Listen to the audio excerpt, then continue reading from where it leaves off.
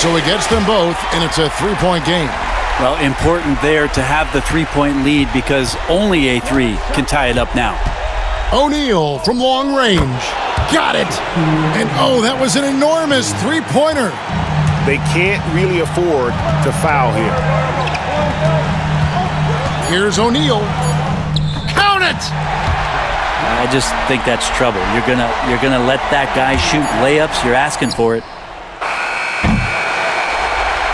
Oh, and it's over. The Miami Heat are the new NBA champions. All the travel, all the practices, all the meetings, all the games, wins and losses, the emotion, the exhaustion culminating into tonight.